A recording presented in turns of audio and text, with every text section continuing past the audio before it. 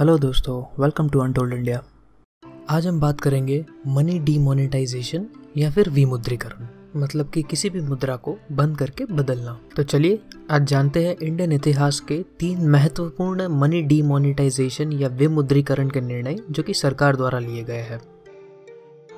Indian इतिहास में अब तक तीन बार मनी डीमोनेटाइजेशन या विमुद्रीकरण दर्ज किया गया है। उसमें से एक है 1946, 1978 और 2016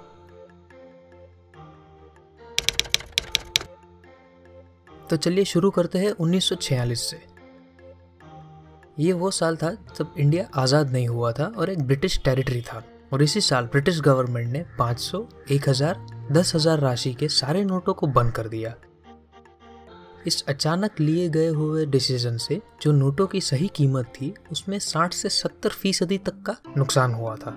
मतलब कि अगर आपके पास 500 हज़ार या दस हज़ार की नोटें हैं तो आपको उसके बदले में मतलब उसके एक्सचेंज पे आपको वो पूरे पैसे नहीं मिलेंगे। इस अचानक उठाए हुए कदम से लोगों में ये अफवाह भी चली कि गवर्नमेंट सौ के नोट को भी बंद करने वाली है, लेकिन ऐसा हुआ नहीं।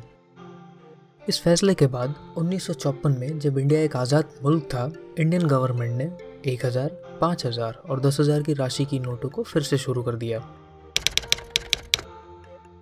1978 इस बार देश के प्रधानमंत्री मुरारजी देसाई ने काले धन को रोकने के लिए उन्नीस में शुरू की हुई एक हज़ार, पाँच हज़ार, दस हज़ार की राशि की नोटों को रद्द कर दिया और देश के नागरिकों को एक हफ़्ते का समय दिया अपनी राशि को बदलने या जमा करने के लिए। हालाँकि ये वो वक्त था जब मिडिल क्लास या आम आदमी के पास एक हज़ार, पाँच हज़ार या दस हज़ार की राशि के नोट नहीं हुआ करते थे। 8 नवंबर 2016 प्रधानमंत्री नरेंद्र मोदी ने 500 और 1000 की राशि के सारे नोटों को रद्द कर दिया और जनता को उन नोटों को बदलने का या फिर किसी भी बैंक या पोस्ट ऑफ़िस में जमा करने का आदेश दिया। आज मध्यरात्रि, यानी 8 नवंबर 2016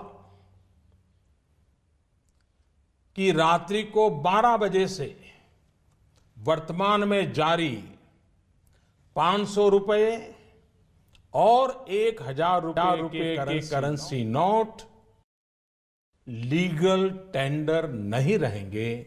ये अब तक का सबसे बड़ा बदलाव इसीलिए है क्योंकि आज के वक्त में तकरीबन पिचानवे प्रतिशत लोगों के बैंक में खाते हैं और उन सभी के पास बैंक के दिए गए एटीएम या डेबिट कार्ड है। और इन कार्ड से निकाले जाने वाली राशि की 50 फ़ीसदी से लेकर 90 फ़ीसदी राशि आपको 500 या 1000 की नोट में मिलती है। इन आंकड़ों के अनुसार आप ये कह सकते हो कि अगर आप एटीएम कार्ड यूज़ करते हो तो आपके पास 500 या 1000 की राशि की नोट होना आवश्यक है। इसी वजह से ये पिछले दोनों डीमोनेटाइजेशन से ज़्यादा कठिन और सराहनीय बदलाव है।